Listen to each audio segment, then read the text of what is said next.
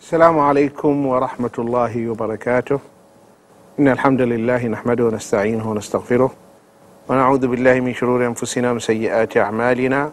إنه من يهده الله فلا مضل له ومن يضلل فلا هادي له. وأشهد أن لا إله إلا الله وحده لا شريك له. وأشهد أن محمدا عبده ورسوله. أما بعد. My dear brothers and sisters and dear viewers, we are still elaborating on our topic 40 tips for reforming our homes and we have covered so far seven tips and we'll carry on. Tip number eight, teaching the family members, educating them, teaching them, because this is the responsibility of the head of the family.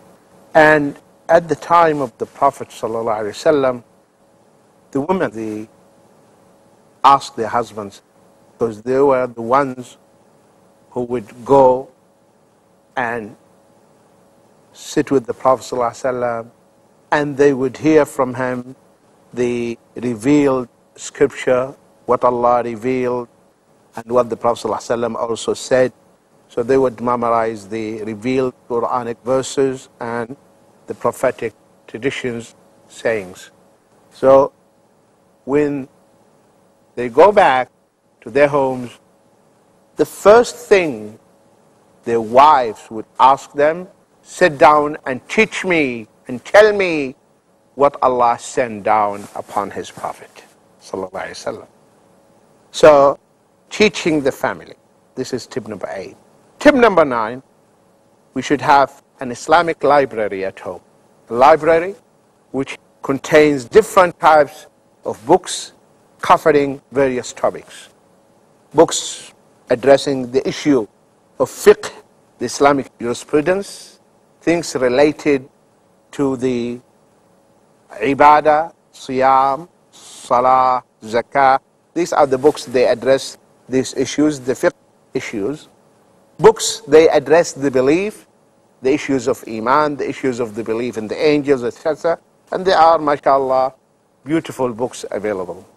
Books on the seerah, the biography of the Prophet ﷺ. Because every Muslim should know about his Prophet. Unfortunately, yeah, many people, they just had an idea, but most of these ideas are vague.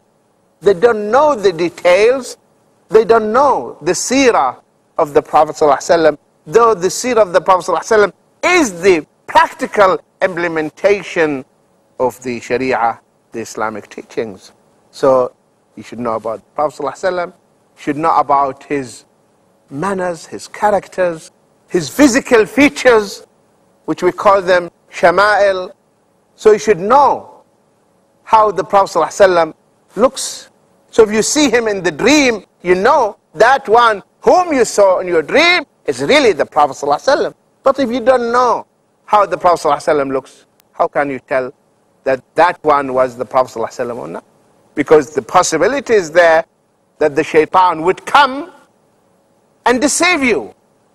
And he would tell you, I am the Prophet ﷺ, because you don't know him. And he might tell you something that goes against the teachings of the Prophet ﷺ. Because some people, they say, but it is impossible that the shaitan comes and tells you that he's the Prophet when he's not. That's not true. Because there is a misunderstanding about the hadith of the Prophet ﷺ, من رآني في المنام فقد رآني حقا إن الشيطان لا يتمثل بي. He who, who sees me in the dream, he sees me in reality.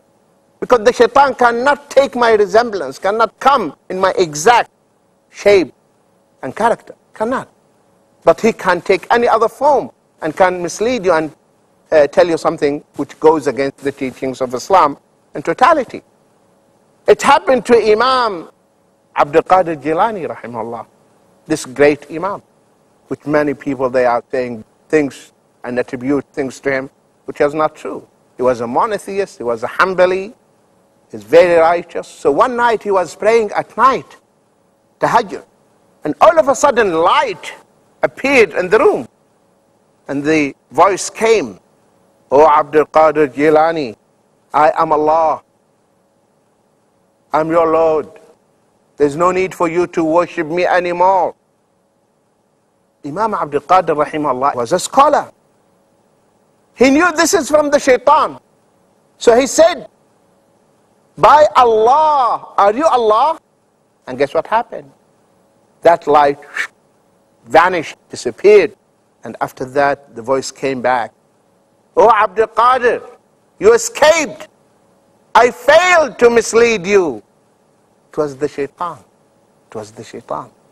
That's why we need to know the features and how the Prophet ﷺ looks like, the complexion, his stature, etc. So that is always addressed in the books of the Shama'il and the Sirah. You should also have books on hadith. Bukhari, Muslim, Nisa'i, Tirmidhi, Ibn Majah, Abu Dawood. Well, these are the famous books that contain the ahadith and the sayings of the Prophet. Also, the library should have books for children. And Alhamdulillah, there are good books for children, addressing and teaching the children according to the way the child would uh, comprehend. Something easy to digest for a child. So the children, they know there is a corner in this library that has books for us. A woman also, she knows there are books addressing women issues you know, menses, things like that. So, women issues. So, the library should have books that address all the needs of the family. Tip number 10 should also have audio library where there are Islamic lectures, DVDs or CDs, so you can listen to. When you are driving, you are listening to. At home also, the wife can put that CD and listen to while she is doing her daily chores, etc. Tip number 11, inviting the righteous and the students of knowledge and the scholars to your home. Why? When you have scholars in your home, see the children, the impact of that on the children. Oh, scholar so and so is our guest today. So they are only exposed to the cream of the community the most righteous ones, they see the humility, the humbleness of this alim, this scholar, the manners, the kindness. Children, they come to this scholar, he hugs them, he prays for them. So they start to love the scholars. So invite people of knowledge to be your guests, students of knowledge. And when you get together, you don't waste your time, of course. You'll just pick a book, reading something, discussing something. Something is beneficial, something that renews one's iman. This was the, the practice of the Sahaba, alayhim. Whenever they met, they would ask each other, let us sit for a while and renew our iman. So inviting the righteous, Allah subhanahu wa ta'ala tells us that on that day, on the day of resurrection, the friends, الْأَخْلَاءُ يَوْمَئِذٍ بَعْضُهُمْ لِبَعْضٍ عَدُوٍ إِلَّا الْمُتَّقِينَ The friends on the day, on that day, on the day of resurrection, will be enemies to each other, except the righteous. The righteous. The righteous, they will not have enmity or hatred on that day. They love each other. May Allah make us among the righteous, those who love each other for His sake Stay tuned, my dear brothers and sisters and dear viewers. We'll see you after the break. Look at me, at me now, family. السلام عليكم ورحمة الله وبركاته الحمد لله والصلاة والسلام على رسول الله وعلى آله وصحبه ومن والاه ومن اتبع هداه إلى يوم الدين أما بعد We were talking before the break about tip number 11 and that is inviting the righteous, the learned men to your home. And always your friends should be the righteous, always the righteous people should be your guests, so that the children, they see only good people who come to their home. The practice of the Sahaba, Radwanullah alayhim, whenever they met, they would ask each other, let us sit for a while and renew our Iman. So inviting the righteous Allah subhanahu wa ta'ala tells us that on that day, on the day of resurrection, the friends, الأخلاء يومئذ بعضهم لبعض عدو إلا المتقين. The friends on the day, on that day, on the day of resurrection, will be enemies to each other, except the righteous. The righteous. The righteous, they will not have enmity or hatred on that day. They love each other. And the Islamic rulings, the ahkam al-shar'iyya, the Islamic rulings that are relevant and specially meant for the Muslim home. For instance, you, that you're praying the nafil prayers at home. See, the Prophet ﷺ said that you pray for the men, you pray the five prayers in the masjid, but it is highly recommended that the sunnah, the nafil, the sunnah should be prayed at home. And as a matter of fact, he said you should not make your homes look like graveyards. The graveyards, you cannot pray in the graveyards. So if your house, you don't pray the nafil prayers, and no one prays in that house, it will be just look like the graveyard. So that's why it is better to pray the nafil, the sunnah, at home. And the reward is greater than praying it in the masjid of the Prophet ﷺ. Also, the host leads the guests. This is the sunnah. I have guests, it is the host is the one who leads the jama'ah. If the masjid, of course, is far away and there's no masjid in the locality, and I have guests, and now time for the salah, so it is the host who will lead the salah. Unless the host himself decides because there is a alim, there is a hafiz Quran among the guests, they said, no, you lead. In that case, the one whom the guest chose should lead the jama'ah. So we know that Ibn Mas'ud, anhu, he had guests and they were having their meals and they missed the jama'ah actually. When they went to the masjid, they found that the jama'ah, the congregation, finished. So Ibn Mas'ud and his guests, they went to the house, to Ibn Mas'ud's house, and they prayed there. So the host leads the guests in the salah. Also seeking permission before entering. These are, these are rulings in Islam. You don't just enter someone's house like that without seeking permission. You have to ask for permission. You knock. Three times the Prophet ﷺ said, you use the knocker, olden days knockers, now the bell. Three knocks, and if no one replied, you just leave. Not that you keep knocking, knocking, no. The same thing about the bells, only three rings. One, wait, another one and wait, third one and leave. Don't keep pressing the bell like that to wake everyone because maybe the family, they are not prepared to receive guests. Maybe someone is sick and you are keeping disturbing and pressing the bell. Children are sleeping. So only three and you leave. And you should not feel upset. I came and I rang the bell more than three times and you didn't open. So what? I was not in a position to receive you. So you should not feel bad about it. So Islam, my dear brothers and sisters, Islam teaches us everything. As a matter of fact, in the Quran, Allah subhanahu wa ta'ala taught us that there are certain times when you cannot visit the people. So Islam, alhamdulillah, teaches us these etiquettes and these manners. So seeking permission before entering.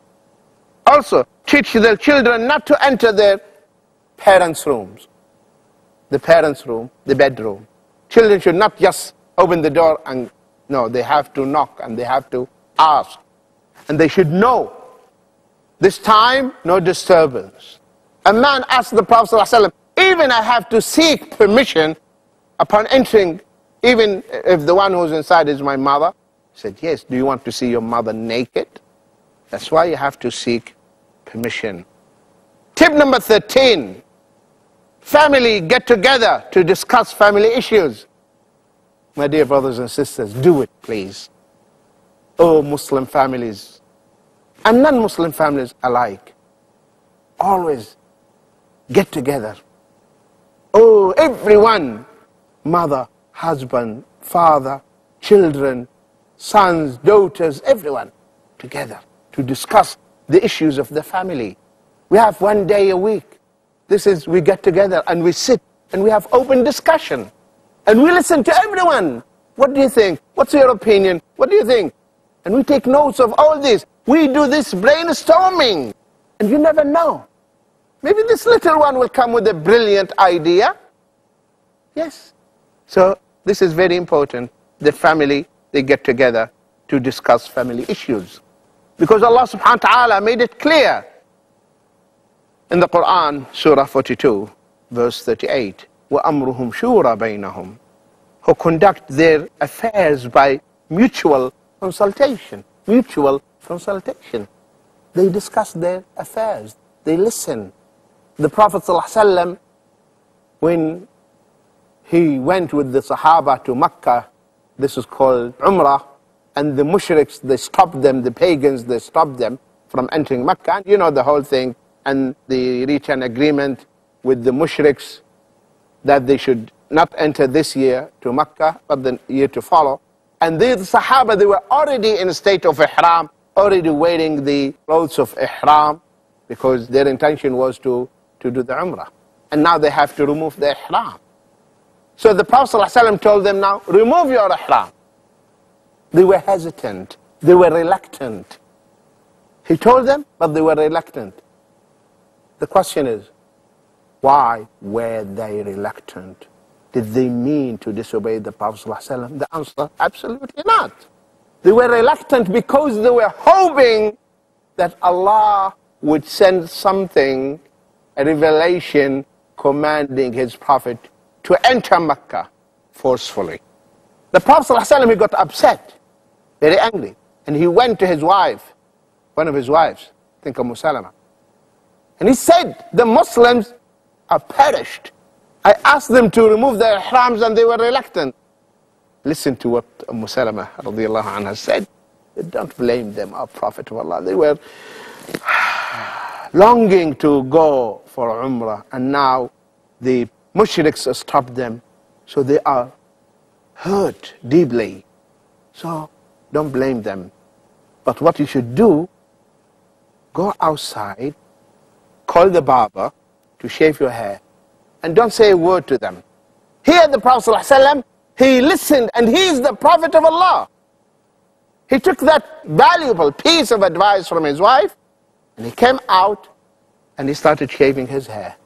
When they saw that, all of them started doing the same thing. So we should listen to each other and seek the advice of each other, and that also will come only when we discuss and have this shura, this mutual and reciprocal consultation. Tip number 14, and this is for the husband and wife.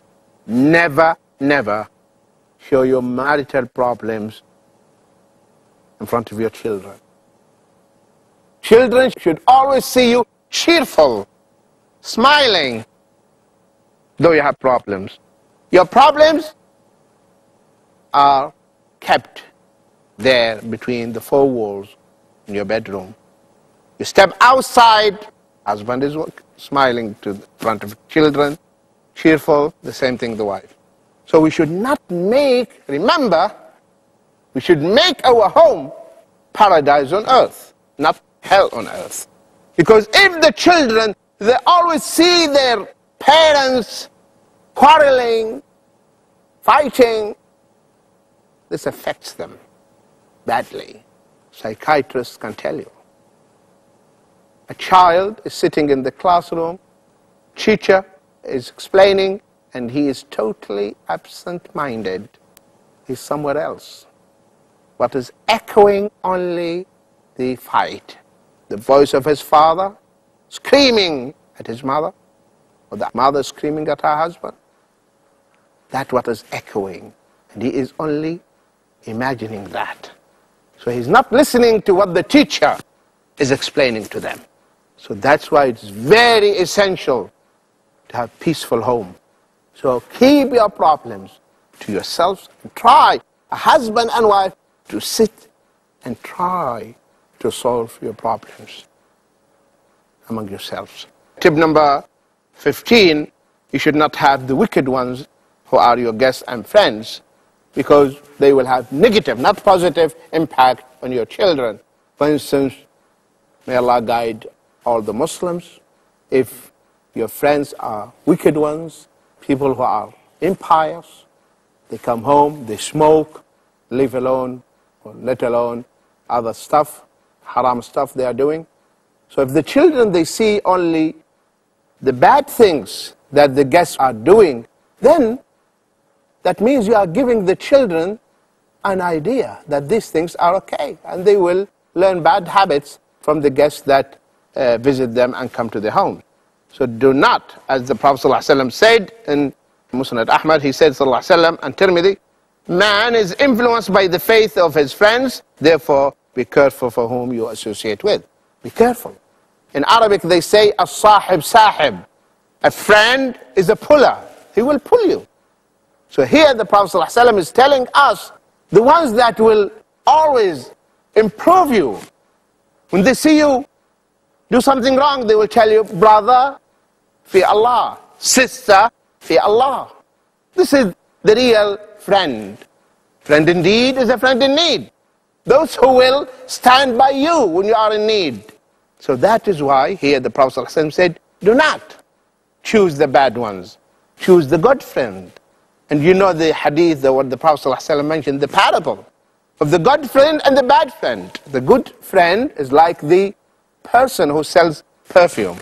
The likeness of the bad friend is like the blacksmith, where you only get bad smell or maybe a spark that will burn your clothes. So we have to have good friends like the perfume. May Allah subhanahu wa ta'ala strengthen our iman Mm. and bring our hearts together and protect our homes. Ameen. And Assalamu alaikum wa rahmatullahi wa barakatuh. I am a Muslim, Islam I believe.